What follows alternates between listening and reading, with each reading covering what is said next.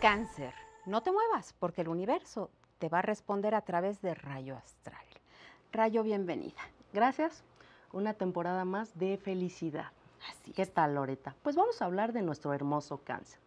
Cáncer, como sabes, es un signo que tiene que ver con el agua, es un signo muy sentimental. Dicen que es el signo que tiene que ver con la familia, con la unidad y con toda la carga que tiene que ver con el sentimiento de unión. Me gusta. Bueno, en esta primera, en esta primera carta nos habla de que en este momento, en este proceso, cáncer está buscando nuevas etapas en su vida. Está, muchos cáncer padecieron por algún tiempo, en algunos dos años, dos meses, padecieron situaciones que los llevó a salir de su centro de emociones. Muchos fueron con psicólogos a prepararse para esta nueva etapa, porque en esta nueva etapa les hablan que escucharon, que estuvieron muy cerca de su Dios, muchos, muchos cánceres estuvieron muy cerca de los dioses, se metieron, se metieron al yoga, meditación, a saber hacia dónde podían tener esa fuerza espiritual para seguir los grandes pasos.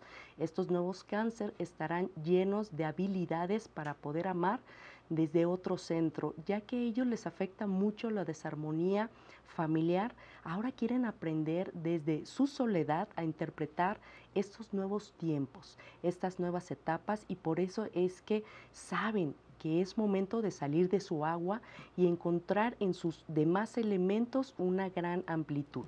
Con el mago nos dice que es momento de que los cáncer ocupen sus herramientas, ocupen sus herramientas y salgan a la fuerza a trabajar grandes cosas. Vean qué, qué habilidades tienen, hagan, rehagan su currículum y busquen grandes oportunidades porque las tienen. Muchas veces no ven lo que tienen. Entonces dice, busca dentro de ti cuál es la gran habilidad, cuál es tu don, cuál es tu servicio y tu profesión. Y entonces es momento de salir, porque en cuanto tú salgas con esa veracidad de progreso, lo único que vas a encontrar es el progreso.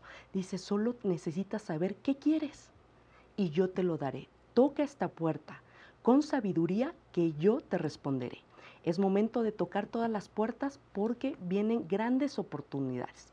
La runa de Odín nos dice, Dios está contigo, te estoy escuchando. Así como te estoy escuchando, te abriré todas y cada una de las puertas.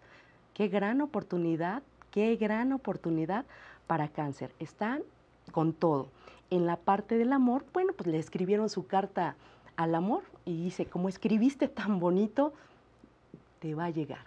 Estas personas que necesitan ya estar en familia, lo estarán. Estas personas que por alguna situación estuvieron separadas, llegarán. Entonces, en el amor les va a ir bien y en la situación de nuestro arcángel que nos da nuestro consejo, nos dice que viene la justicia divina y que todo volverá a una normalidad perfecta. Me encanta. Está padrísimo todo lo que viene para cáncer. Oye, pero si ya tienen el amor los, los que son cáncer, entonces a lo mejor nada más se va a afianzar. Puede afianzarse o también hablan de qué amor necesitas. El amor de hijos, de la familia, ¿qué necesita cáncer? Por eso anteriormente te dice, ¿qué necesitas? Que yo te lo daré. En, en cuanto tú sepas qué necesitas, se te abrirá todas las puertas. Rayo, si les quedó alguna duda, que se comuniquen contigo. Claro que sí. Perfecto.